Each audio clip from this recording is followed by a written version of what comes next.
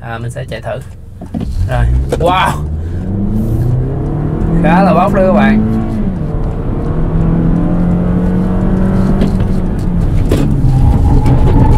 À, thông phanh rất là yên tâm ha.